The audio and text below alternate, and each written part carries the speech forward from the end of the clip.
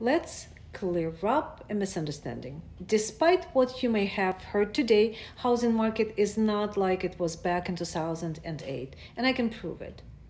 Check out this graph. It shows the supply of homes for sale is different this time. The red bars show back in 2008 there were too many homes for sale compared to the number of buyers in the market.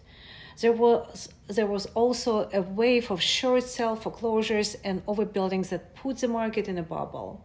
But look at the blue bars. According to the latest data, now the unsold inventory sits at just a 3.3 months supply at the current sales price. That is significantly lower.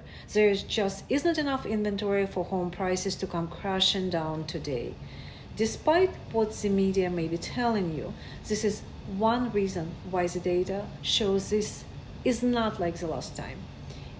Do you have question about what's happening in today's housing market?